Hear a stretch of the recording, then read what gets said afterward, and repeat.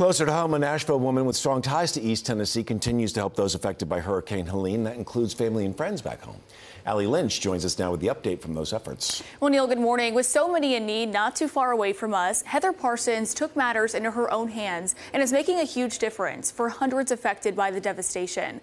Parsons lives here in Nashville but grew up in Appalachia, where a majority of her family resides. She says they were directly affected by Helene, and for the last two weeks, she's been working with multiple organizations to get supplies to critical areas in Tennessee as well as North Carolina. One of those organizations, Parsons has been working hand in hand with is Operation Airdrop. With the floods preventing some residents from assessing supplies, these nonprofit brings them a solution from the sky. Parsons says the eastern communities went from no supplies to a warehouse full of them overnight.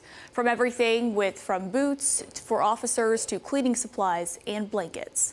I know the devastation is I've never seen anything like it. You know, there's trees that didn't come from this area that are on people's farms. There's cars on their farmland. Um, and the cleanup effort is going to take a while.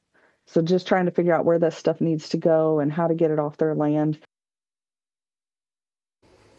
And our parent company is partnering with the Red Cross to continue raising money for victims of Hurricane Helene and Hurricane Milton. If you want to help out, you can scan the QR code on your screen or visit our website, WKRN.com. Nikki?